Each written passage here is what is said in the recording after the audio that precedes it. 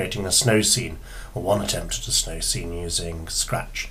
Um, we have our sprite, we have our stage. Let's start by working with the stage.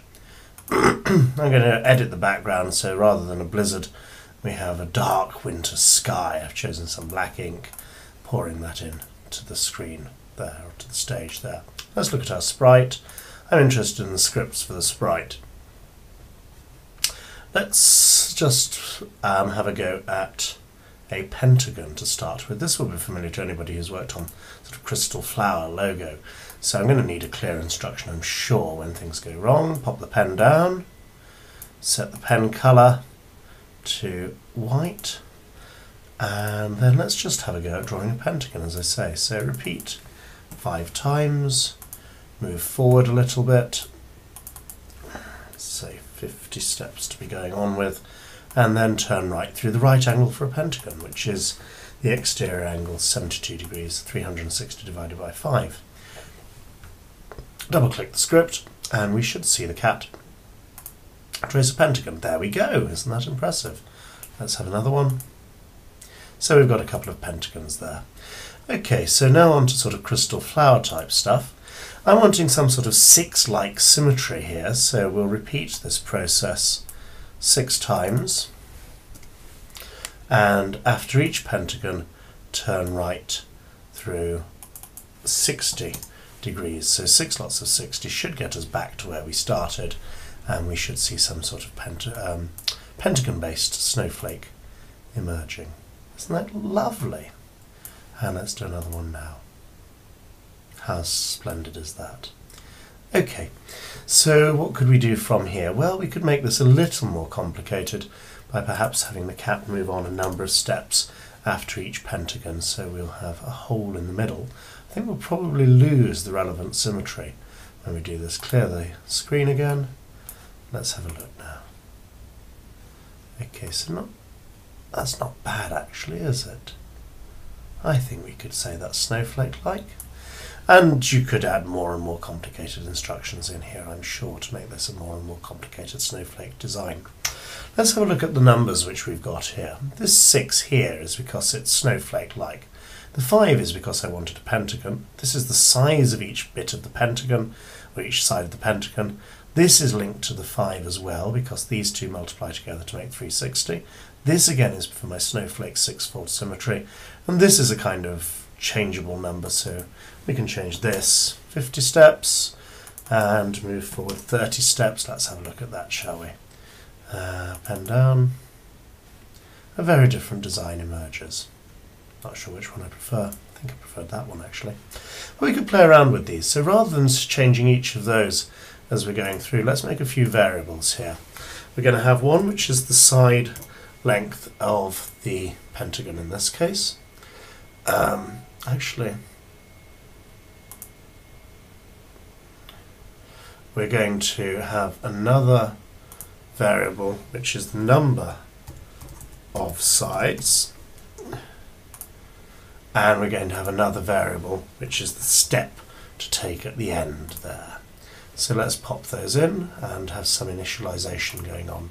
So when I click on the green flag, clear the screen and let's set up those variables as we want them. So set the number of sides to 5 set the size of each side, the side length to, I think we liked 50, didn't we? So let's pop the 50 in there and set the step size to 20 and join those together. So move the side length, the step size goes in here and turn through the number of sides. The 72, as you remember, is determined as the exterior angle because we've got five sides. Oops, uh, that's the wrong thing. I didn't mean side, did I? I meant number of sides. Repeat number of sides, and then we've got to calculate this. So instead of 72, it's going to be 360 divided by the number of sides. And with a little bit of luck, that should get us roughly the same pentagon as we started with, snowflake design as we started with. Isn't that nice? These numbers up here we could set randomly, so we could get the computer to choose what numbers to put in here. So we have this random number generator thing in here. So let's say anything between a triangle and a decagon. The side length, again, choose some numbers. And you can tweak this until you get the sort of scene that you're interested in. So let's have relatively small side lengths here from 10 to 40 and the step size we could have from absolutely no steps at all to say let's put 30 in there. So this will choose a random snowflake design and I suppose we could have right at the beginning let's put the cat right back in the center of the screen so when we start the thing clear and go to the position 0, 0, the origin of the coordinate system. Set pen color actually could come up here, couldn't it?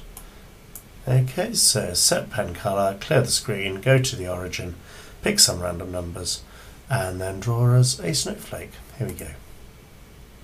Okay, we had a slight problem in that the pen was still down, so I suppose we ought to pick the pen up at the end of the previous program. Let's try that. Oh, isn't that sweet? Let's try another one. So that's looking lovely. I suppose it's better rather than having to keep dragging the cat out of the way to actually hide the cat. So here on the looks palette, let's hide the cat as part of our initialization. Hours of endless fun. So this is very much forming aesthetic judgments as to which of these look more or less snowflake-like. If we wanted to do our snowflake scene, we can very easily adapt this by just picking the right number of snowflakes. So repeat 10 times all of these instructions, go to a position, pick a random number, and then do all of these bits. The position I'd like it to move to, I'm going to determine randomly here. So again, I'm going to use a random number for instead of going to always the origin, let's say it could be anywhere on the whole graph paper from 240 up to 240 and the y coordinate ranging from minus 180 up to 180. Uh, click on the green flag to start. One, two, tiny one.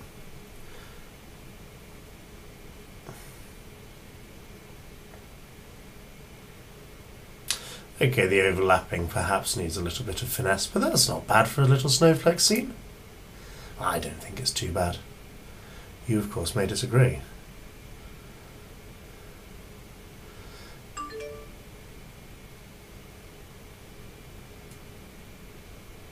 We could spend some time tweaking those numbers, but I think that's probably enough for now.